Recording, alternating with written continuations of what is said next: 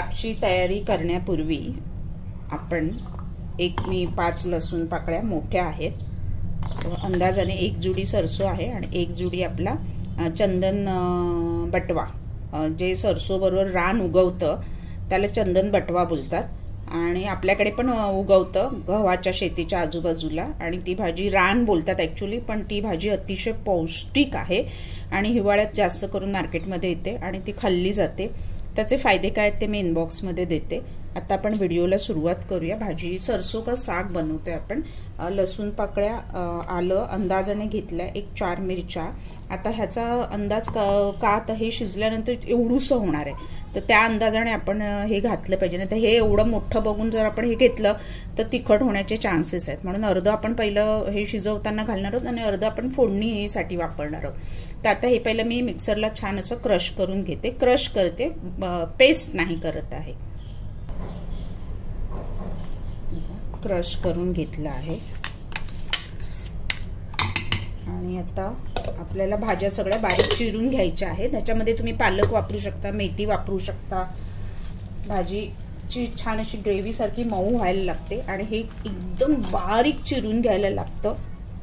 कारण तिकडे पंजाबमध्ये चुल्यावर मडक्यात शिजय शिजायला घालून ते छान असं शिजवत शिजवत राहतात आणि घोटून घेतात. म्हणजे खूप शिजवतात त्याला.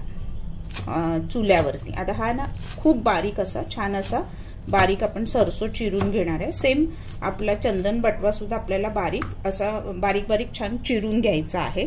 तर पहिलं मी आता दोन्ही भाज्या छान बारीक अशा चिरून घेते.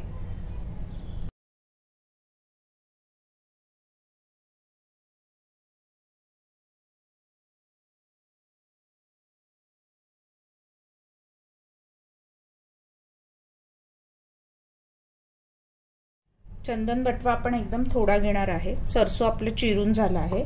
चंदन बटवा पा किंवा पालक किंवा मेथी त्याच्यामध्ये मिक्स एवढ्यासाठी केली जाते की त्याला थोडीशी कडवट चव असते. सरसोला कडवट चव असते. आणि म्हणून ह्या भाज्या थोड्या मिक्स केल्या जातात. त्याची चव थोडीशी एन्हान्स होण्यासाठी वाढण्यासाठी. तर चंदन बटवा पण आपल्याला बारीक चिरून घ्यायचा आणि आता आपण ते कुकरला त्याच्या दोन शिट्या मारून घेणार आहेत. ॲक्च्युली ते चुलीवरतीच रटारटा असं शिजवलं जातं आणि शिजायला थोडंसं वेळ लागतं कारण ते एकदम मऊ पेस्ट होईपर्यंत शिजवावं लागतं म्हणून मी ते बारीक चिरून घेतलं तर आता आपलं दोन्ही चिरून झाले आहेत आणि तुम्हाला असं ते जास्त दिसतंय ना शिजल्यावरती एकदम कमी होणार ते. तर ह्याच्यामध्ये आपण जे वाटलेलं आलं लसूण आणि हिरवी मिरची थोडी टाकणार आहोत. थोडी आपण नंतर फोडणीमध्ये वरून जो तडका देणार आहोत त्याच्यामध्ये टाकणार आहोत. तिखटचा अंदाज घेऊन कारण हे शिजल्यानंतर अजून एवढं होणार त्यामुळे तिखटचा अंदाज कमी जास्त होतो फसायला होतं नेहमी पालेभाज्यांमध्ये. म्हणून मी अशी आयडिया केली. आता हे कुकरला मी दोन शिट्या मारून घेते. कुकरमध्ये मी राईस पण लावला आहे त्याच्याबरोबर तर झाकण लावून घेऊ आणि दोन शिटी झाल्यानंतर कुकर थंड झाल्यानंतर आपण ओपन करणार आहोत. आणि मग पुढची तयारी. कुकरला छान शिजले आता त्याला रवीने छान घोटून मऊ करून घ्यायचं आहे ॲक्च्युली शिजवताना मडक्यामध्येच त्याला असं घोटत राहतात मऊ होईपर्यंत. आणि ह्याच्यामध्ये आता आपण एक चमचा मक्याचं पीठ घालणार आहोत. हे कसं ड्राय चोत्यासारखी असते भाजी ना ती स्मूथी होण्यासाठी त्याच्यामध्ये मक्याचं पीठ घालतात. तर एक चमचा आपण मक्याचं पीठ घालणार आहोत. आणि ते छान असं त्याच्यामध्ये एकजीव करून घ्यायचंय पीठ आणि भाजी जरा रगडून छान मऊ करून घ्यायची. आणि आता आपण भाजीला वरून फोडणी देऊन शिजवून घेणार आहोत अजून.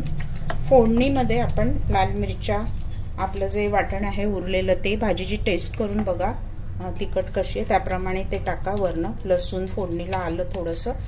आणि थोडं हिंग लाल मिरच्या कांदा थोडा टोमॅटो. टोमॅटो याच्यामध्ये ॲक्च्युली ओरिजिनल सरसो सागमध्ये घातलं जात नाही. पण थोडा घातला की अशी त्याची चव छान येते. मग थोडा अर्धा टोमॅटो आणि अर्धा कांदा आपण फोडणीमध्ये घालणार आहोत. बघा छान असं रगडून झालं आहे मक्याच्या पिठाने ना ते एक मिळून येतं पीठ सॉरी हे साग आपलं. आता आपण ह्याची फोडणीची तयारी करूया.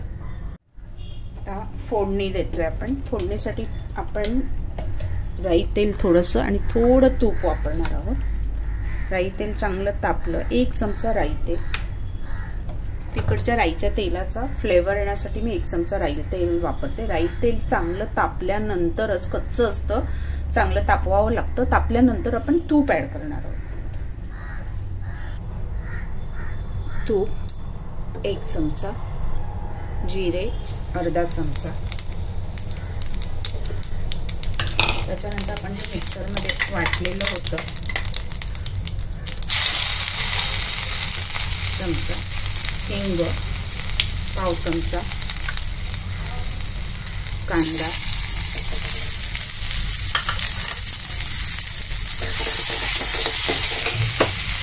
टोमॅटो दोन लाल सुक्या मिरच्या. आता हे छान टोमॅटो शिजेपर्यंत परतून घ्यायचं.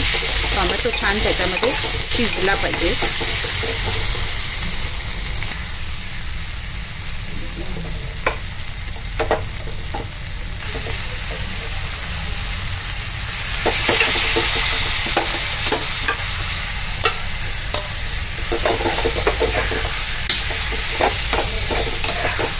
आता हे घट्ट पातळ कसं हवं तसं आपण मक्याचं पीठ ॲड केलं त्यामुळे हे घट्ट होत जाणार. तर थोडं आता आपण पाणी घालूया.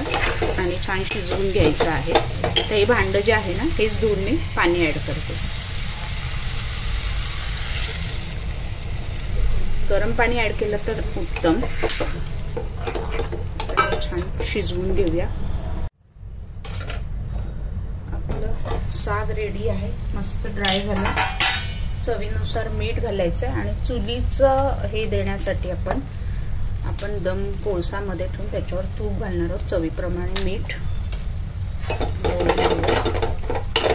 आणि चुलीचा अरोमा त्याच्यात गेला पाहिजे कारण हे ॲक्च्युली चुलीवरती शिजवलं जातं. आपला कोळसा मस्त एका बाजूला गॅसवर गरम झाला आहे. आपण त्याच्यावरती तूप सोडणार आणि दोन मिनटं फक्त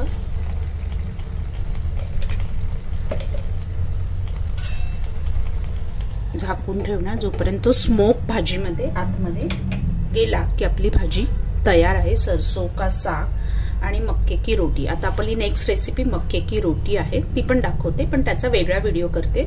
आणि चला तर मस्त थंडी आणि सरसो का साग आणि मक्के की रोटी. ह्याच्यावर अमूल बटरवरनं सर्व करताना घ्या.